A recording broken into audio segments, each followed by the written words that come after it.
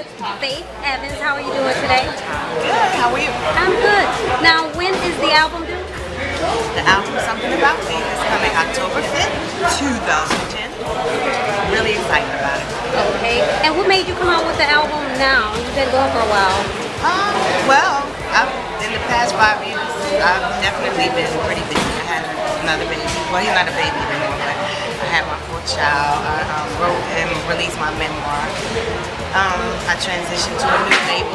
I now have my own imprint with E1 Music. So, um, you know, just sometimes things just don't feel like they're the right time, and I, that's usually how I operate. It's not. It's more about everything being right for me, firstly at home with my kids, and you know, I just felt like now that I had a little bit more control under everything else, it was definitely time to get back in the studio because I know my fans are waiting. Yes, you are one of the best R&B singers ever.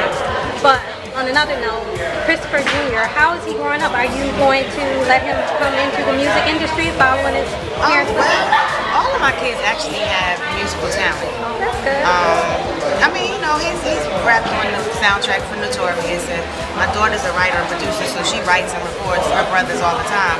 But that's just at home, you know. They gotta. We, we hope. I want them to get into college first, but I mean, because that part comes so easy. They, you know, they it, it'll be easy for them to. First of all, they have the natural gift, but you know, having parents in the industry, you know, it's it's easy. I want them. I don't want them to just fall on that. Right. I would rather them, you know, understand the importance of having a B plan. You know, and usually the B plan is something you got to work a little harder for. So- Definitely.